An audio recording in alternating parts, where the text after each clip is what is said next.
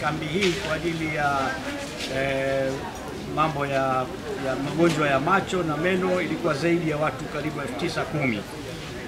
Eh, bahati nzuri siku ni tatu na nusu nne hizi za kuwahudumia tumeweza kuscreen watu elfu sita mia tatu katika elfu sita mia tatu elfu tano mia tatu ni watu wa kushughulikiwa magonjwa ya macho ambapo tumeweza kuwapa miwani zaidi ya elfu tano wengine wamepewa dawa na operation ya upasuaji wa jicho mtoto tumeweza kuwafanyia watu mia tatu. Na upande wa meno watu elfu moja na ishirini wametibiwa, kati yao saba wataenda kwenye rufaa e, Muhimbili Hospital kwa sababu kunatakiwa mitambo kama CT scan na madaktari kule wana mitambo mizuri, wataweza kufika kule na kuhudumiwa, na tutawafuatilia ili wapate huduma ya kuwaondolea hiyo adha waliokuwa nayo, na pia e, wale ambao tume wengine wamekuja leo mawani yamekwisha, tutawatumia kwa kupitia kwa watu wetu walioko hapa, wataletewa uh, hayo hizo miwani. Kwa ujumla ndio hivyo data za, za kambi hii, na tunaomba tutoe shukrani zetu kwa mheshimiwa mbunge eh, eh, mheshimiwa Umi Mwalimu ambaye ni mbunge wa viti maalum na ni waziri wa afya na ameweza kuhamasisha watu na kutusaidia sisi tuweze kufanikisha hafla hii ambayo imeenda vizuri sana, na pia tunashukuru watu wamejitolea kuwa na eh, busara za kustahamili kuchelewa, eh, wengine pamoja na wazee.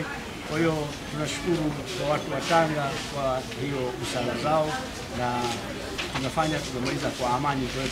Na serikali kwa ujumla. na sisi kwa niaba ya Bilal tunasema bado tutaendelea kushirikiana naye na tutajaribu kuondoa tatizo hili la macho na mingineyo ambayo ya kiafya, tutajaribu kushirikiana nalo hilo na kuweza kuleta afya njema kwa kila Mtanzania, lakini hasa tukihusia Tanga.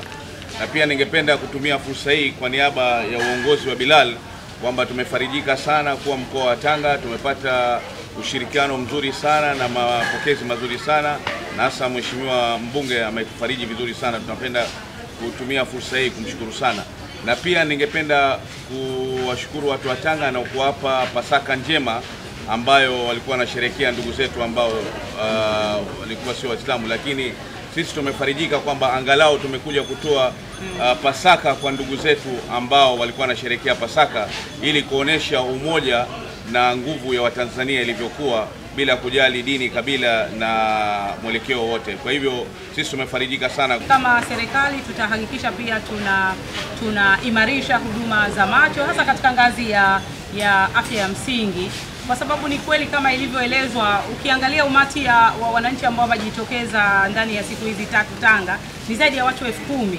lakini Bilali Muslim ambacho wameweza kuwafikia kwa masuala ya macho ni kama watu elfu tano mia tatu tumeelezwa. Kwa hiyo unaona mahitaji ya huduma za uchunguzi. Uh, kaka Sheni amezungumzia screening. Screening basically ni huduma za uchunguzi. Kwa hiyo uh, masuala ya macho zinahitajika hasa katika ngazi ya msingi kama nilivyosema, angalau zipatikane katika ngazi ya kituo cha, cha afya angalau na ngazi ya hospitali ya wilaya kabla watu hawajakuja kwenye hospitali za rufaa za mikoa. Lakini kwa masuala ya kinywa pia kwa kweli ni changamoto kubwa, na sisi tumeona jana, nimeongea na mratibu wa afya ya kinywa na meno wizarani, tumeona ipo haja pia ya kuanzia katika shule za msingi shule zetu za msingi tuanze kutoa elimu uh, katika kwa watoto wetu jinsi gani ya kutunza vinywa vyao, jinsi gani ya kujikinga pia na magonjwa haya yanayoletwa na magonjwa ya kinywa na macho. Kwa hiyo kwa kweli, kwa kiasi kikubwa niseme kama sekta ya afya tuna kazi kubwa bado ya kufanya katika kuhakikisha kwamba wananchi hasa Watanzania walio vijijini na wa kipato cha chini wanapata huduma bora za uchunguzi pamoja na matibabu. Lakini mimi nataka kutoa wito, matibabu ni gharama, na ndio maana labda kuna wengine wamekuja kwa sababu pia ya uwezo, kwa sababu ya uwezo hawawezi kujigharamia. Kwa tunapeleka mswada wa sheria bungeni wa bima ya afya kwa kila Mtanzania. Itakuwa ni lazima kwa kila Mtanzania, na tutatumia kile kigezo ambaye mtu hajaandikishwa TASAF atatakiwa kuwa na bima ya afya. Kwa hiyo tunajadiliana sasa hivi iwe shilingi ngapi. Kwa hiyo sisi tunaamini pia kwamba bima ya afya itakuwa ni suluhisho la kuwawezesha Watanzania maskini wa kipato cha chini kupata huduma za afya bila kikwazo cha fedha.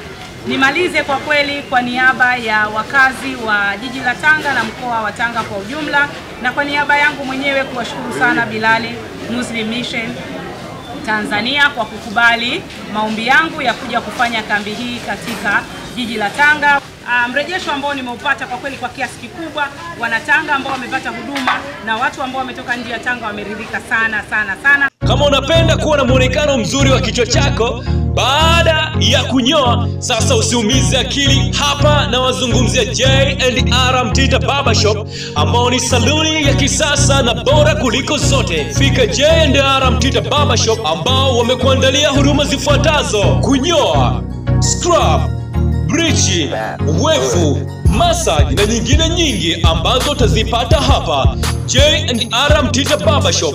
Wanapatikana Buguruni Rozana, mtaa wa Mitungini, Mbagara kongoe mtaa wa Kichangani. Kwa Azizi Ali wanatazamana na zahanati ya Mtoni na Tandika wapo Sudani. Kwa mawasiliano zaidi piga simu namba 0745884112 Joe Aram Mtita Barbershop. Karibu upendeze.